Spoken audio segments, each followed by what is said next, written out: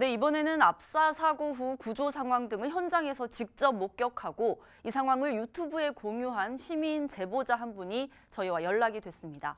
저희 뉴스를 시청하시는 지역 주민 가운데 한 분이신데요. 이태원 참사 사건 발생 당시 현장에서 직접 취재하고 이 사건을 유튜브로 공유한 이호현 주민을 화상으로 연결해 당시 상황에 대해서 좀 더 자세히 알아보겠습니다. 이호현 선생님, 안녕하십니까? 네, 안녕하세요. 반갑습니다. 네, 먼저 이태원 압사 사고 현장에 계셨는데요. 헬로윈데이 행사를 알고 이태원으로 이동하신 건지 아니면 어떻게 사고 현장에 있으셨나요? 아, 제가 어, 어, 야간 작업을 하고 있다가 아, 그 소식을 듣고 12시쯤에서 어, 제가 오토바이를 타고 거기를 달려갔습니다.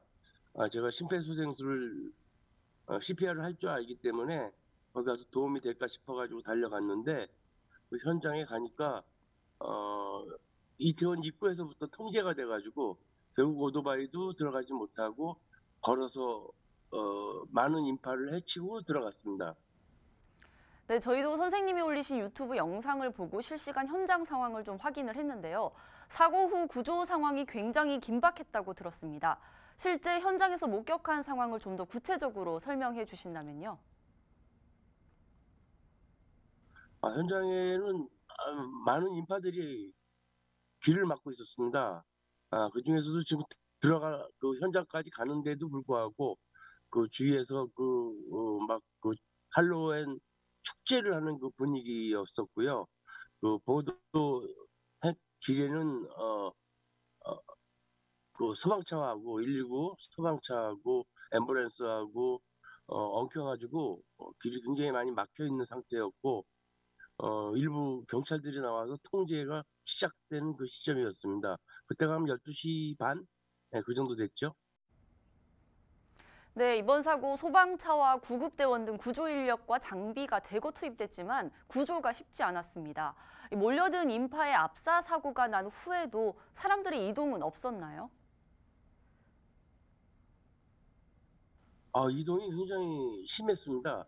뭐 이쪽에서 사고가 난, 났음에도 불구하고 어, 전혀 사고가 났지 않은 것처럼 어, 모든 사람들이 뭐 그 할로윈 행사를 즐기고 있는 모습이었고 어, 길 통제하는 것에 대해서 아, 경찰에 항의도 하고 어, 그쪽으로 가야 되겠다고 우기기도 하고 또 길가에는 어, 일부 어, 술 취했는지 음, 바닥에 누워 있는 사람도 있었고 하여튼 아비규환 상태였습니다.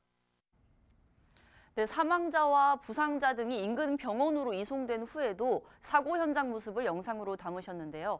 당시 상황 어떠했는지 좀 더 구체적으로 말씀해 주신다면요.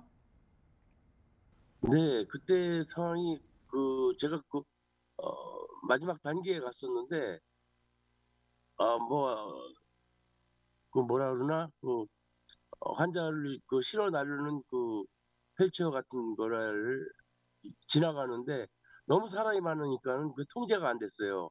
그래서 그런 거가 어, 좀 더 빨리 갔으면은 어, 귀중한 생명을 더 살리는데 도움이 되지 않았을까 싶고 어, 옆에서 좀 많이들 도와줬어야 되는데 오히려 어, 사진을 찍느라고 또 이렇게 덤벼들고 또 구경하느라고 덤벼들고 그래서 그 골목길에 그 어, 환자 이송을 하는데 굉장한 애를 먹는 걸 많이 봤고 또 소방차들이 어, 서로 엉겨 있어가지고 나가고 들어가고 하는 게 제대로 안 되는 것 같았습니다.